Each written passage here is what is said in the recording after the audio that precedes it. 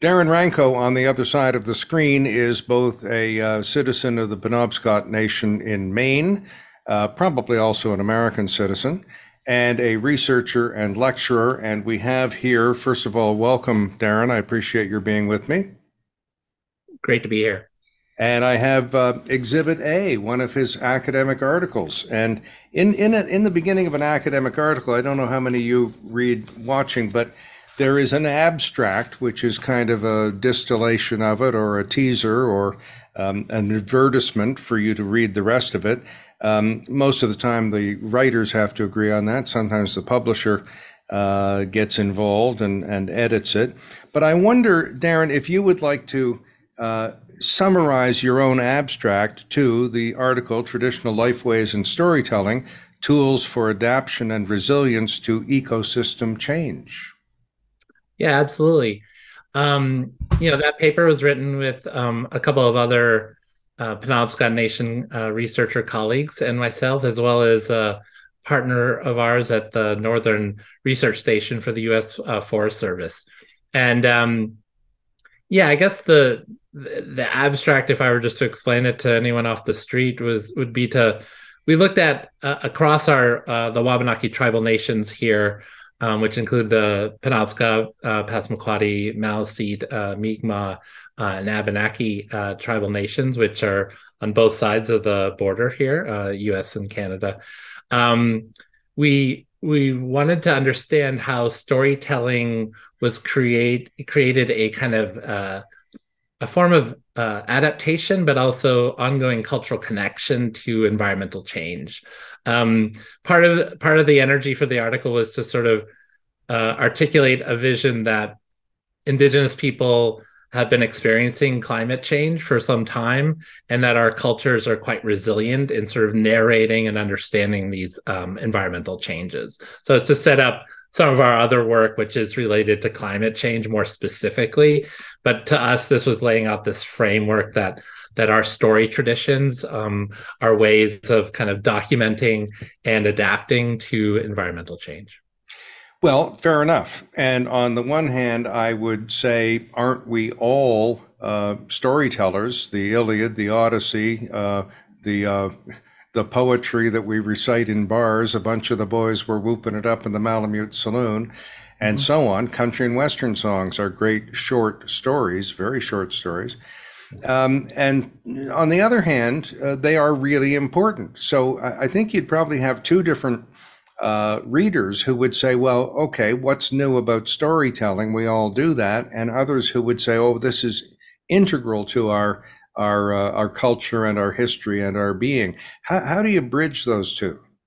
Yeah, and I think I think it's about um, an orientation towards place, right? So when we think about it in, an indigenous context, and here in uh, what is now referred to as North America or Turtle Island, um, it's because of the longevity of, of, of uh, us as indigenous people being in this place that our storytelling has a different valence in tracking these environmental changes in these places. And I think it's to just to draw attention to that and to uh, assure the kind of the forms of recognition that we we ask for as indigenous peoples to um, you know, kind of have uh, a recognition of our leadership and and when it comes to uh, climate and environmental change and sort of the the value that we bring as as both storytellers and knowledge keepers in into this uh, the specifics of this place in particular.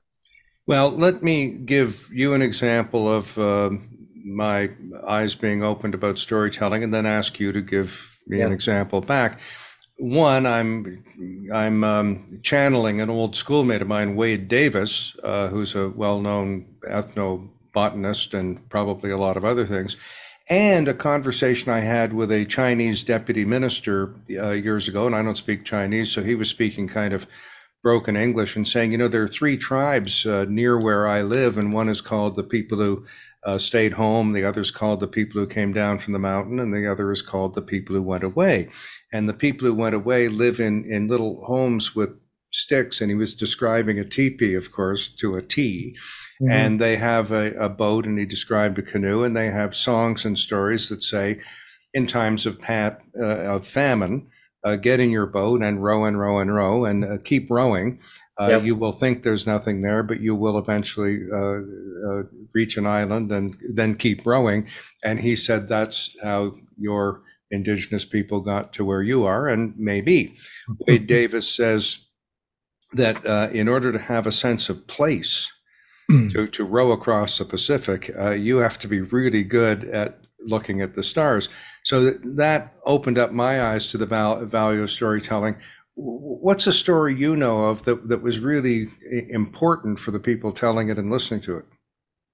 Yeah, you know, it's um stories are you know multiple things, right? I mean, and in you know, in the paper, of course, we we kind of give context because you know stories uh, uh, often don't speak for themselves, right? So uh, we tried to uh, part of our sort of social science there was uh, working with the people telling the stories is to sort of give them that proper context.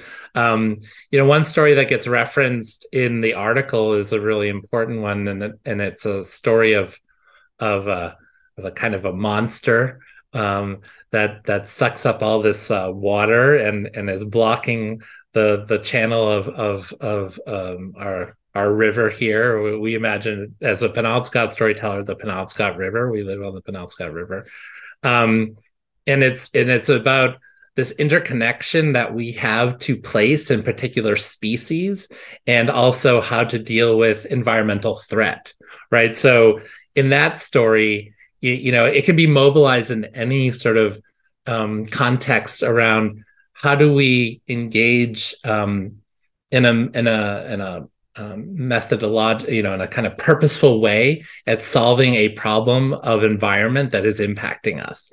So there's a kind of um, protocol uh, in in how people in that story deal with this monster, even figure out figuring out there is a monster. So there's this whole process where we go and figure out what's causing this, like the the rivers are now down to a trickle, and the people are starting to really suffer. You know, who who goes out and does that? How do we figure out that process, and how do we do our own, in a way, science to figure out the causes of something? And then in that story, of course, we appeal to. Uh, our truth teller sort of um, uh, hero, a religious hero, Gluskav or Gluskabe to help us solve that. Um, but it, it is um, ultimately a, a, way of sort of addressing a problem impacting us all, um, appealing to sort of an interconnection across different places, and uh, um, engaging in some uh, creative frameworks of renewal to remove barriers and then recognizing that um, once you remove those barriers or solve problems that the the environment doesn't go back to the way it was but it actually is now a new environment. And then you know different story so gluskab kills the monster but it represents in the story that once there's been an environmental degradation even after it's changed the the the people and the species and and our connections to them those also will change. So it requires a new sort of framework or, or story to kind of engage in that new changed environment.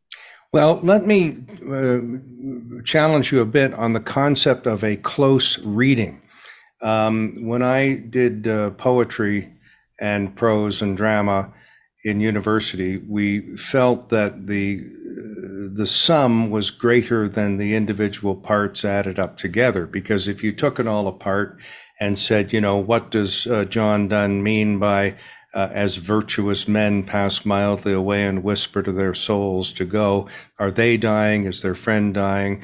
Uh, what does Shakespeare mean uh, by uh, to take arms against a sea of troubles and by opposing end them? Uh, can you really vanquish your troubles? And, you know, on and on it goes. And you consume lots of coffee, and uh, for those who smoke, lots of cigarettes, and and try to figure out what all this means. And and then you know you find out that when Paul Simon wrote Mother and Child Reunion, it was really a, an item on a Chinese restaurant menu in Lower Manhattan. It was a a, a chicken dish with uh, yep. eggs as well. I mean, it has no deeper meaning. Uh, sometimes uh, people just like the sound of the word, as Paul McCartney said, he liked the sound of the word suffragette in the in the song Jet. And uh, I was kind of disappointed that I, there wasn't some nugget of gold at the end of these sure. these things. So let's just challenge you and say now, if, if you were doing this research uh, in the 60s, you might have said, oh, well, this is a metaphor or, or deeper meaning about Black liberation or about women's liberation or about gay liberation. Today, yeah. it's environmental change. A hundred years ago, it might have been industrialization. Are you reading into or laying on top of this story our current preoccupations? I think that's a, that's a really wonderful question, and you know, uh, I'll say that I don't uh, appeal to any objective um, framework for my the method uh, uh, and my work as as someone with a PhD in anthropology. I think um, the sources of our knowledge as as, as social scientists and, and anthropologists is um, is its its truthfulness is comes from an intersubjective reality more than an objective reality. So I I can know another culture because I have a culture, not because I am a blank, blank slate. Um, I think in terms of our methods to kind of uh, set us, you know, not become just reading stories like the structuralists did and take in decontextualizing what I think a lot of structuralist readings of sort of mythologies or, or is that we we appeal to a kind of um, you know an, an almost an ethno narrative approach to this right? Which is to say how do the people telling these stories interpret them over some period of time? Um, and sort of what are the connections uh, as indigenous people w- what connections are we making? And i think quite honestly in terms of uh, you know there are also the structural frameworks we refer to a little bit in the in the in that article and and, and other pieces that that give sort of a meaning to like you know different stories are told at different times with different purposes, right? So uh, much like um, you know the Paul Simon reference, it's like you know a pop song is a particular has a particular valence and has a particular kind of purpose to it that attaches to its medium, and so these stories that get re reframed and remobilized by indigenous peoples over multiple generations right have shifting meanings no doubt. Um, but in terms of its what truth it's offering us, I think the best that we can do is give it and be very mindful of you know that purposeful both the structural kind of like what kind of t- story is it under what purpose is it told and then how are the people themselves interpreting them. Well and nice rebuttal and maybe it is that the truth that is uh, beneath the stories uh, morphs and applies to new situations over time. And it's, uh, that's kind of the point of our article too, right? Which is that the stories are not fixed in in the same way that you would right? The stories are relevant and have relevancy because they both are adaptable and reframe reframable but maintain sort of some deep structural kind of kinds of truths to them because of um, the driving context. Yeah. And since I'm I worked my way through grad school as a journalist, I feel no uh, compunction to be. Uh, uh, consistent in in the uh, questioning. So the other side of the coin is apparently a question Robert Frost, uh, the great poet, was asked: Does this line in your poem mean thus and so? And the great poet paused and said, um, yeah, it probably does by now. Meaning, of course, that the way the piece of art interacts with uh, humankind affects it. You learned something about fireflies and fishing and uh, the weather. Could you share that with me? Uh, you know that was that that piece was actually brought in brought in with by one of the other authors. I'd be reluctant to to talk about that. I, I apologize. I, I just I don't feel like I'll get it right. Well, I, I can just read it for you. It, it turns out, uh, you know, it turns out that lay knowledge, there's a wonderful um, academic journal article, I think by Brian Wynne in the UK, May the Sheep Safely Graze, about farmers who were. Uh, yeah. You know, you know that article, isn't it? A profound. Yeah, yeah, no, that that work um, was really. Uh, when I was a grad student, I was I was influenced by some of that. Yes, exactly. I mean, that I, happens my to dissert- be my dissertation was about environmental risk. So I mean, isn't that wild? Because it, it turns out that they were bucking uh, nuclear British nuclear fuel scientists and Sellafield nuclear, so, and they knew their sheep better sure. than the scientists did. And it's a wonderful, wonderful article. I that was one of the texts I had at, at Leicester sure. University in the UK, and I'm uh, I'm glad that it was part of uh, part of your studies as well. Um, all I'm saying is um, uh, you, uh, you, you and your colleagues document when you see the first lightning bug, it's time to get the first salmon. And after the first lightning storms, you pick the medicines. And of course, the weather would affect both uh, both t- forms of living things. Yeah. Um, moving right along, you have a second article, and remember, you're still under oath. Um, this uh, article here, Science in Indigenous Homelands Addressing Power and Justice in Sustainability Science from Within the Penobscot River. Uh, you have a lot of other, I think you, you co wrote this with almost every other academic in Maine. It's a good long list of of co-authors. But would would you consider um, uh, summarizing your abstract there? Sure. Yeah, absolutely. And this is um, this is very much an article that that talks about our methods uh, in terms of working cross culturally with different kinds of science or or knowledge traditions, and um, um, we go through a, a, series of projects that we've done and and and and reflect upon sort of like the best practices to work in collaboration across sort of indigenous and non-indigenous scientists recognizing the sort of importance of uh, indigenous homelands uh, through through all of our work in terms of our relationships and and how to do um, you know more engaged and better science in, in that context well, and, and good work and a good um, uh, approach. And to go back to Brian Wynne, uh, he said that farmers would often say they have a field that is higher than their other field, when in fact it was topographically lower. But what they meant by higher was a whole series of qualities such as the drying time, the ability to get your tractor onto the field, the harvest, et cetera, et cetera. So we have to be open to terminology that isn't uh, perhaps in a science dictionary. Now, it, it is said, um, I'm, I'm, would you like two academic jokes just before we proceed? Oh, sure. Yeah, no, I love academic jokes. Well, there, there were two anthropologists, of which you are one, walking down the street, and one said, You're fine, how am I? They bumped into a pollster and said uh, 19 times out of 20, within four percentage points, How are we doing? The second uh, quip, not quite a yep. joke, is that um, an academic would rather use another academic's toothbrush rather than his or her jargon.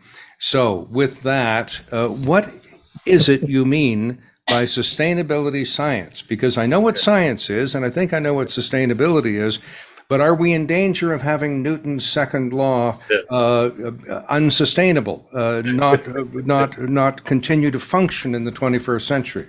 Fair, fair enough. Um, well, as you know, the this was published in the journal called Sustainable Sustainability Science. Um, you know, it's what we picked up on as sustainability science and one of my academic appointments here is at the george mitchell center for sustainable sustainable solutions.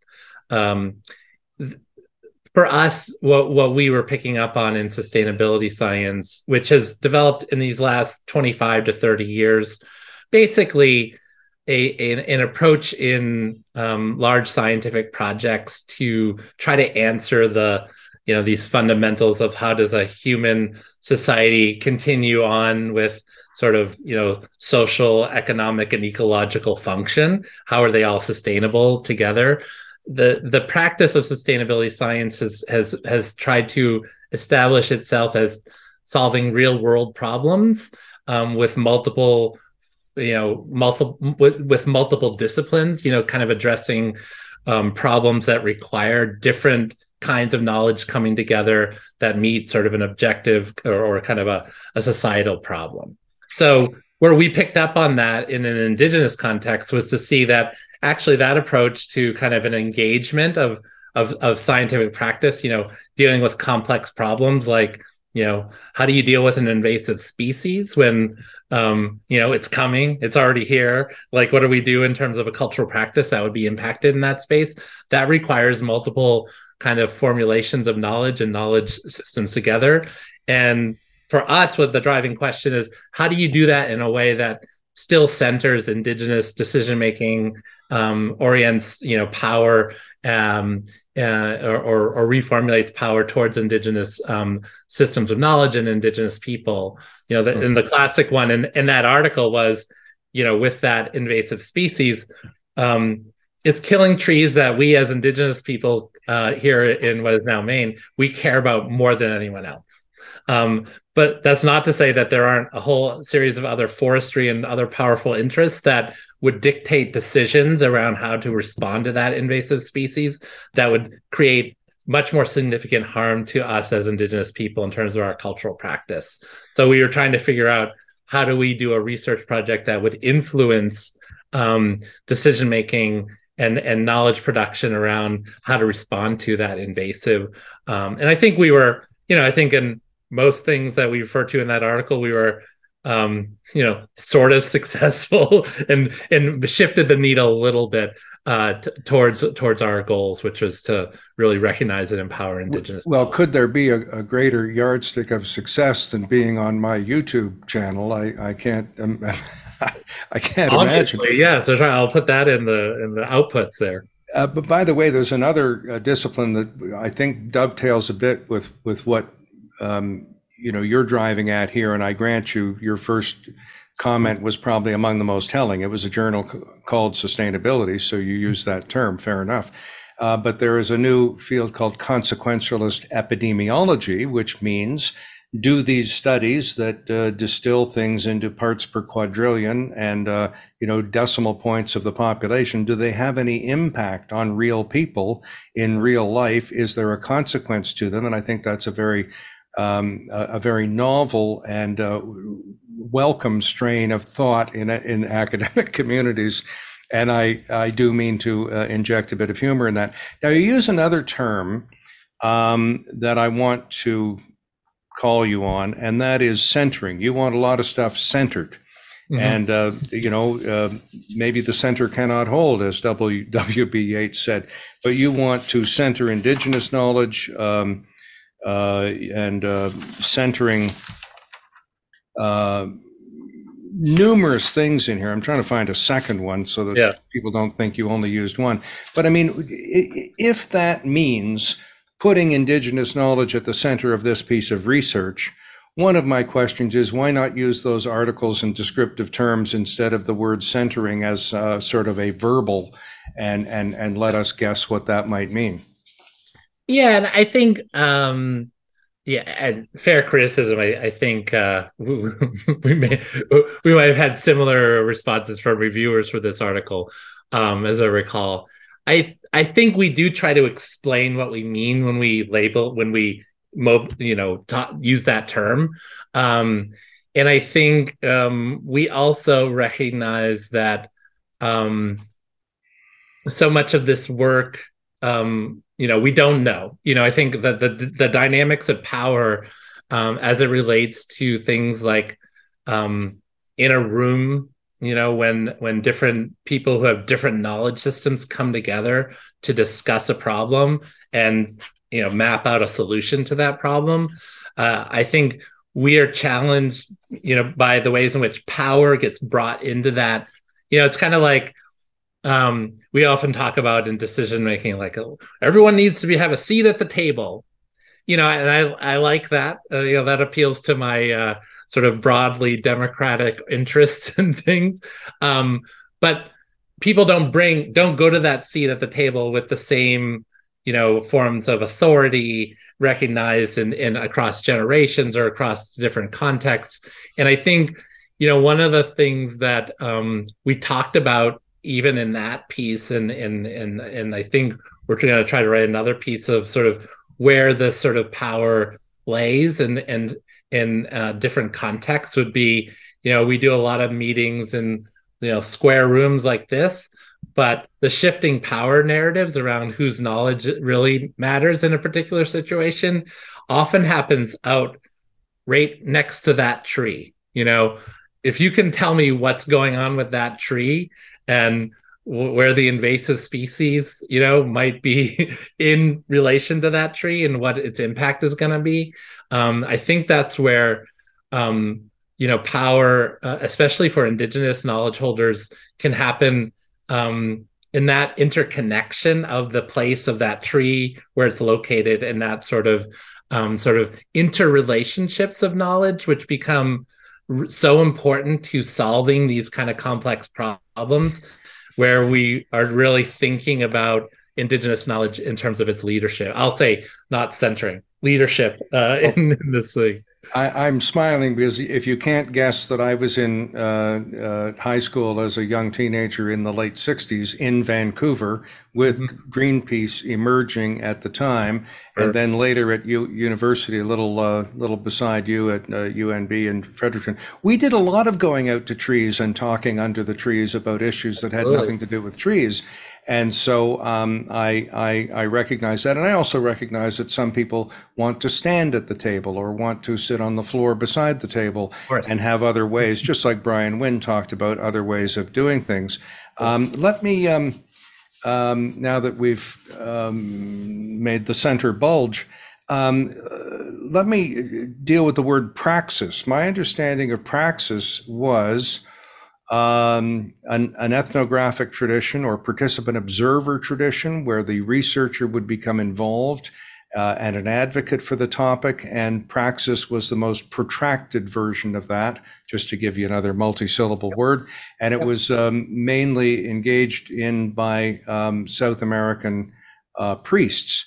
Um, is that what you mean by praxis here in this article? No, I, I think it, it, this comes in a from a different tradition. The the I think the praxis we're we're talking about uh, comes from these, you know, the more uh, um, Foucauldian, you know, uh, post-structural kind of, uh, you know, like an embedded structure of something that is not articulated um, often. And so for us, um, and and then the other the my co my co-lead author is a communications person and she brings in a lot of that um, framework of of praxis as a sort of self-conscious um, recognition of embedded practice and and in order to shift it um, is to unveil it you know, so that post-structural move to unfail the underlying logics and then embed it, you know, and, and embody a new uh, formulation oriented towards some other goal. You know, I, I, was happier when I didn't understand what you uh, meant by praxis because it did seem to be an advocacy uh, angle to doing uh, research. Um, but um, uh, your appropriation of that of that uh, term is fine with me. Let, let me let me challenge another thing because this is kind of fun and you're and you are um, at least receptive. You talk about um, the knowledge base of people, and if you're a decision maker, maybe that's an unfair advantage that you have. And, and if you get to define what knowledge is, maybe that's unfair. And this is a Foucaultian thing. Foucault said, you know, that, that which is imposed from the top down shall be opposed from the bottom uh, up. Okay, fair enough. But how do you reconcile that with the status of knowledge keepers and elders within uh, the indigenous community, are you equally exercised about their authority and their knowledge? Yeah.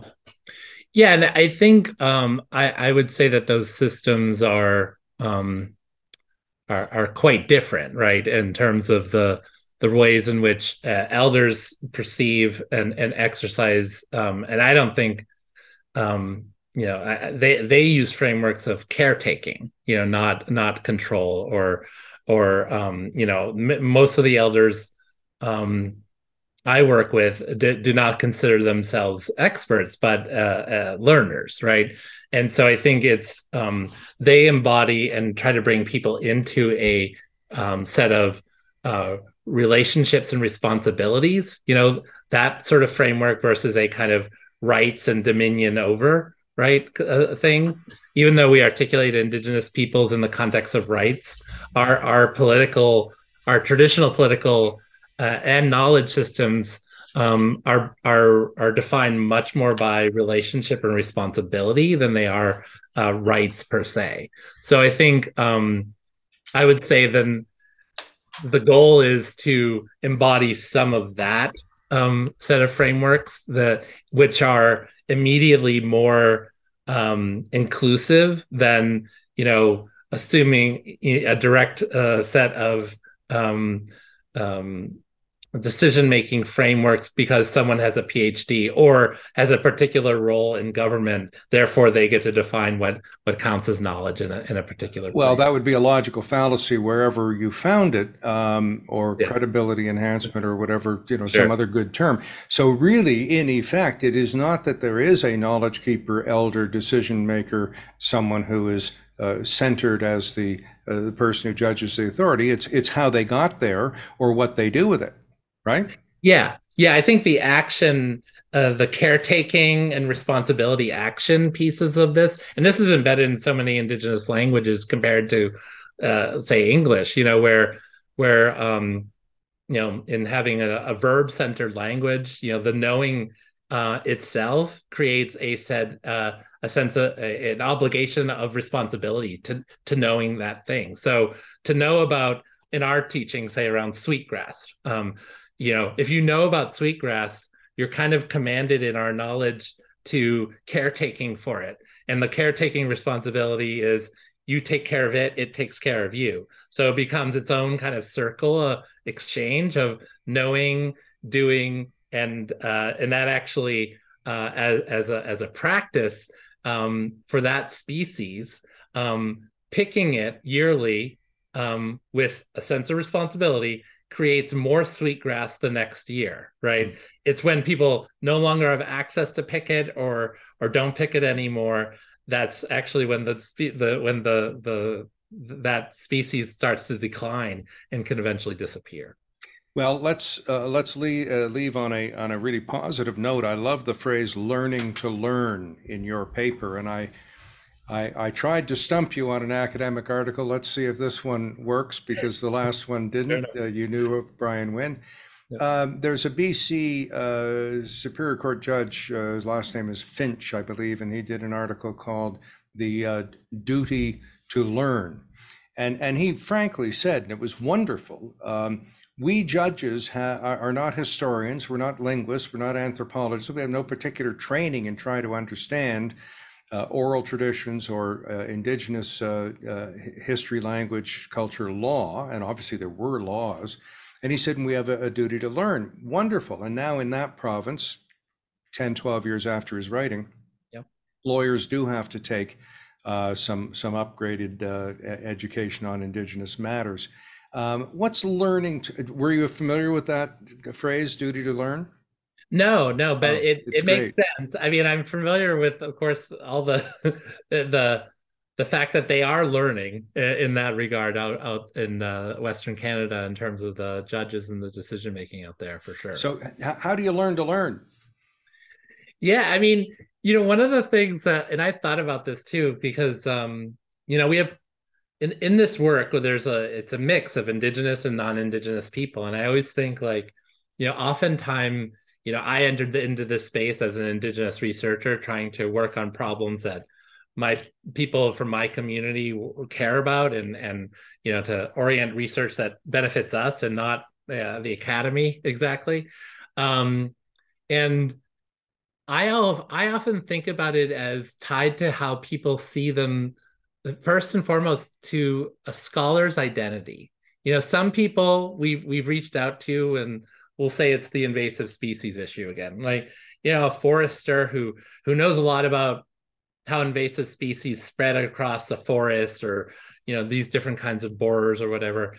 Um, and we'll bring them into conversation and they see themselves first and sor- foremost as an expert how do you how do you learn to learn and and you know we've vetted uh, a lot of folks um, worked with a lot of different uh, researchers and you know i think the people who see themselves as experts don't do real well in in in the first and foremost in their identity. They're all experts of course. Um, but people who are really searching for um, think of themselves as lifelong learners are open to a process wherein you know different forms of knowledge can come together and create something sort of bigger than than its individual parts right? And i think that kind of you know that's that's what um, the national science foundation calls convergence thinking um, and i think that many in, uh, many of our indigenous partners have because of legacies of colonization have been taught you know western models of science and also taught indigenous teachings of, of sort of knowledge frameworks, and they're able to kind of bring together different um, frameworks of knowing. And you know, the the Mi'kmaq have have you know have their their uh, two-eyed seeing approaches. I think that that's very much you know kind of in in indigenous knowledge uh, knowledge relationships. And I think for me, it's uh, I, I've been we've had great partners, non-indigenous partners who uh, are scholars who no longer have anything left to prove. You know, they're full professors, they have all the grants and publications, and they're like, I want to learn something new, you know?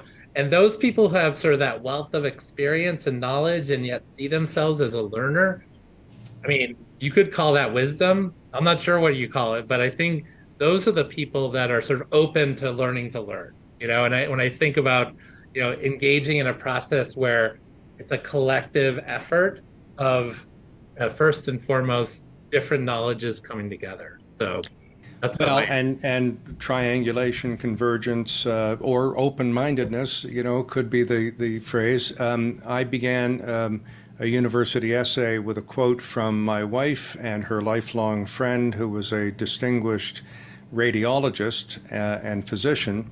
And the paper began thusly Did your feet grow a size after pregnancy. Mm-hmm. Woman number two, there's nothing in the literature about that. so, you know, yeah. uh, maybe it happens all the time in real sure. life, but maybe male editors of academic journals or medical journals or simply maybe medical journals are not really interested in women's feet. Uh, so that is um, another case for open mindedness. Uh, Professor Doctor, I wonder if you have any words or phrases in Penobscot you'd like to share with us. Um, I would say just uh, Kachiwaliwan. You know, it's uh, many thanks to um, you engaging me. This has been really, uh, really thought provoking and a different angle on things. So I'll, I'll, just say, I'll just say that I really appreciate uh, the time with you. Well, that's very kind, and that is the one of the very few vocabulary words that I know. Uh, it's uh, thank you, and th- they are pronounced a little differently, just like yes. in in yeah, uh, Maine. Right. My my stepmother is from um, a place in New Hampshire called Concord, which mm-hmm. in Canada is pronounced Concord. Yeah, but, yeah. Uh, that may be a plane and elsewhere. Um, look, thank you very much for your time. The articles um, I enjoyed. I recommend them to people, and they are a benefit and I appreciate it. Thank you.